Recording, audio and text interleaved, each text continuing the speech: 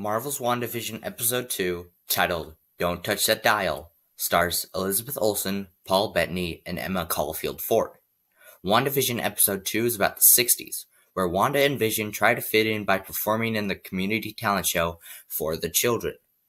Vision feels under the weather when gum gets stuck inside him, and Wanda must use her magic to convince everyone that their, in fact, real stage magic is fake.